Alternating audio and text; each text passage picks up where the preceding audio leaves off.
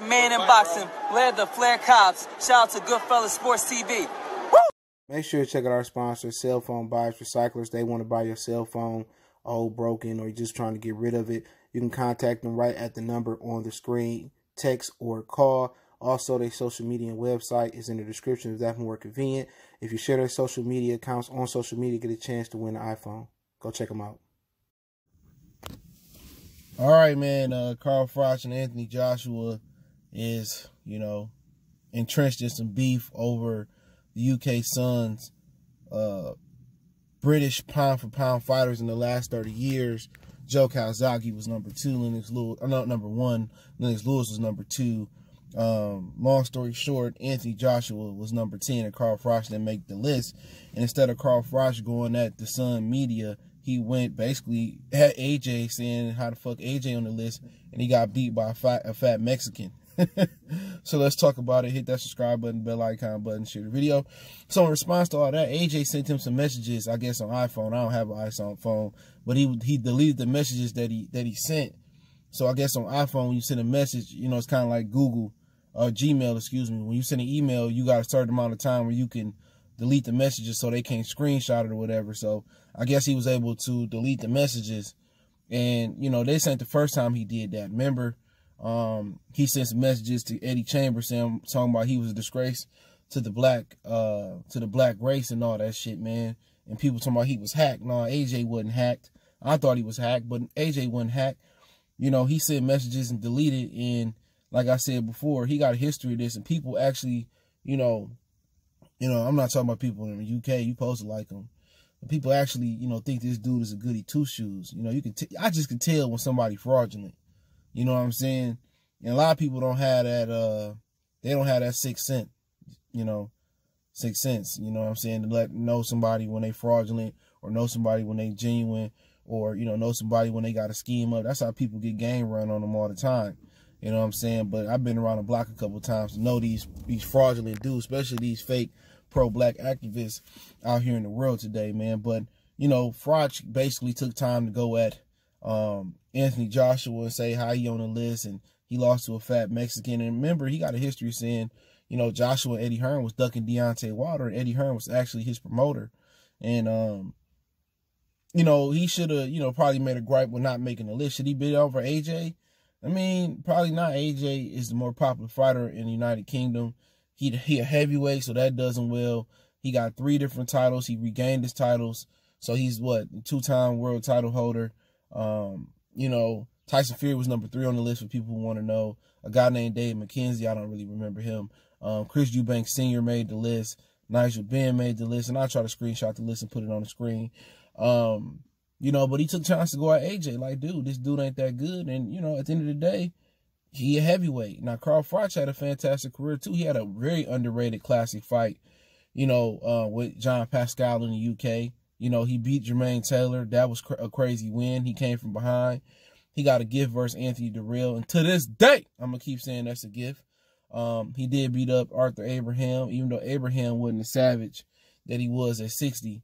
Um, and he portrayed to be in his first fight, the World Box Super Series tournament with Jermaine Taylor. But, uh, you know, you know, but he, he had a solid career, beat up Lucian Bute, lost to Andre Ward. Now, had he been able to beat up on Andre Ward, then we would have a different discussion.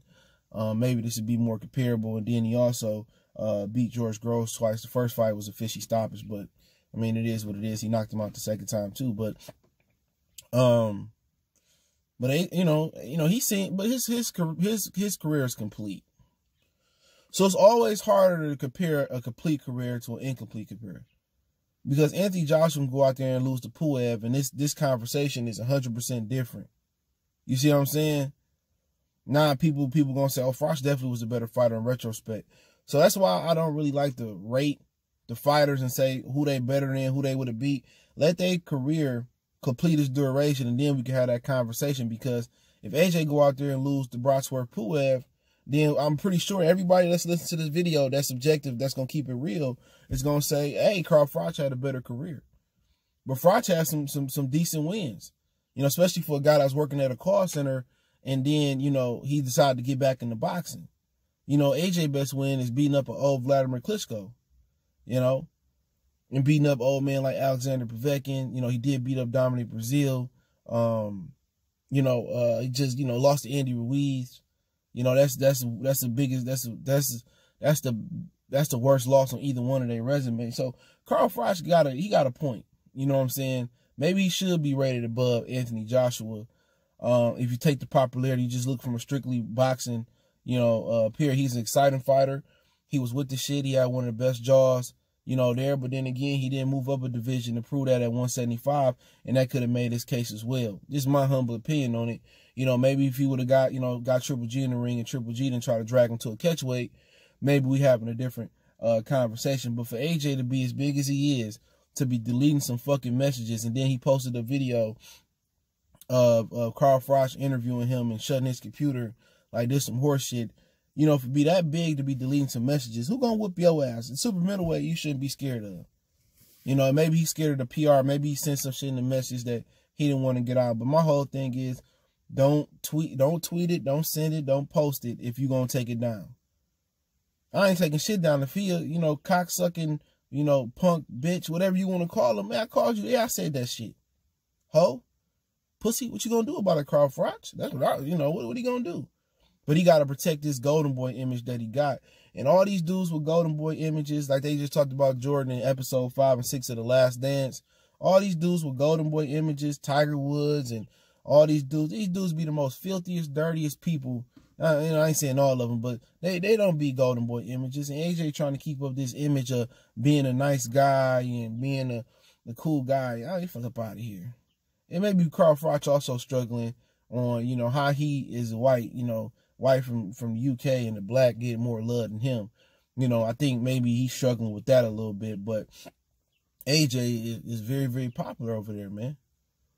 You know, he just is. Some some people just got the popularity, of gold medalists, and you know what I'm saying. They just root for him.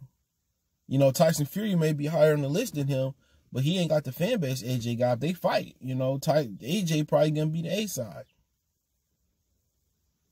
But as far as far as the whole beef going, and, and Froch started to backtrack the statement that he made about Andy and, and said Andy a solid fighter on his podcast. And if you said it, you said it. You know, I know you didn't mean to disrespect Andy Ruiz, but come on, we all know Andy Ruiz was like the 15th best heavyweight.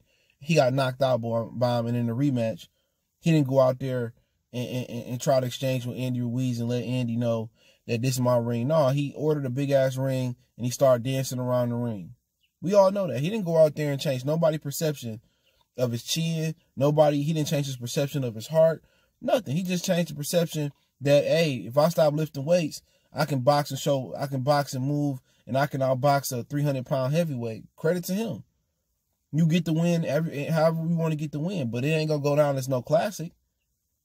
Andy Ruiz went down as a classic, and then you want to run to Saudi Arabia, where most people think you can do what you want to do, and you didn't want to come back to America.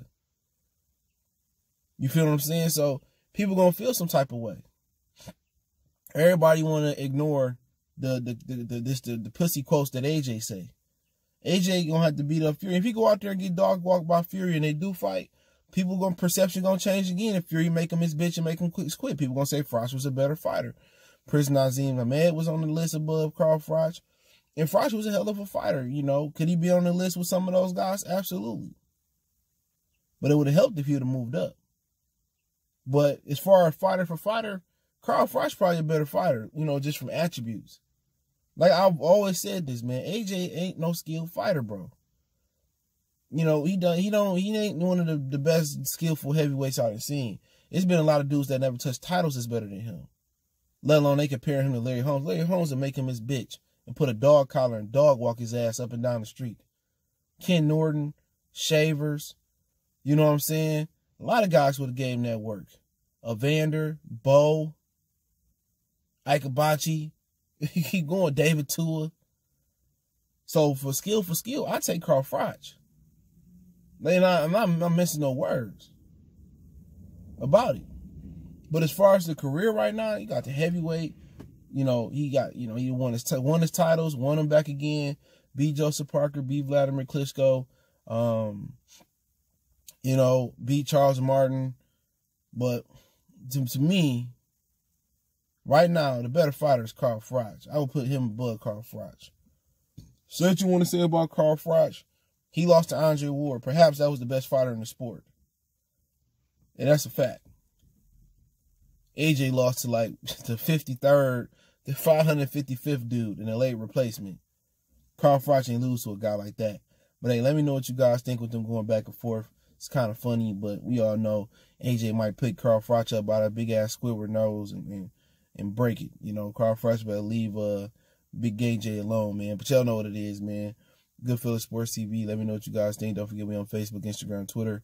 Uh, you can reach out to me at any of the social media sites if you have a business question, inquiry, sponsorship, video request, uh, or you just want to chop it up. All the links, description. Want to make a donation? Cash App, PayPal, description. Best way to donate. Share, share the video one time for the one time. Goodfellas Sports TV. It's your boy CJ Goodfellow. We gone.